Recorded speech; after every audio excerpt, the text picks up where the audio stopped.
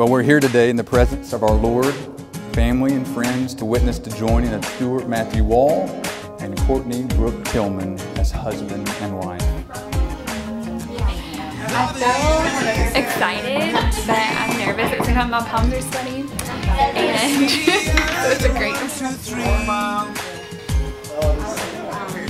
I passed school so consequently, it's coming so naturally.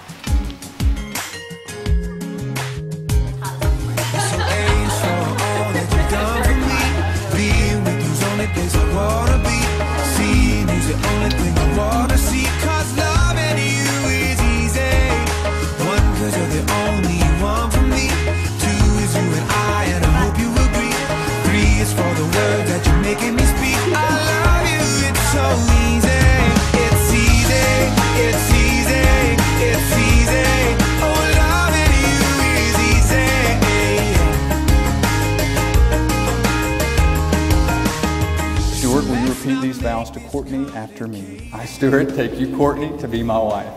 I, Stuart, take you, Courtney, to be my wife. I, Courtney, take you, Stuart, to be my husband.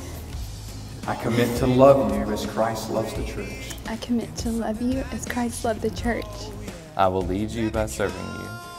I will encourage you to treasure Christ, I will encourage you to treasure Christ. I will care for you with humility, kindness, kindness, gentleness, gentleness, and patience. and patience.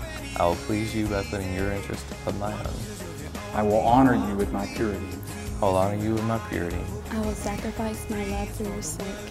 I will cherish you as a child of God. I will cherish you as a child of God. And by the grace of God, I will be faithful to this covenant I'll be faithful to this covenant as long as we both shall live. as long as we both shall live. as long as we both shall live. And now, having pledged your love and loyalty to each other, I do by, by the authority vested in me, pronounce you husband and wife.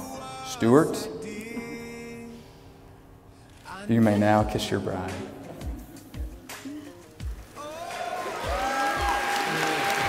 It's my privilege to present to you for the very first time Mr. and Mrs. Stuart Wall.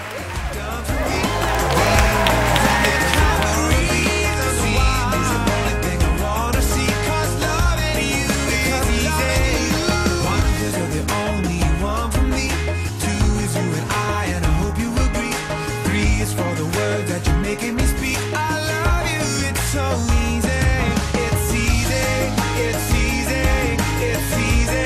Oh, is. Welcome, we finally made it.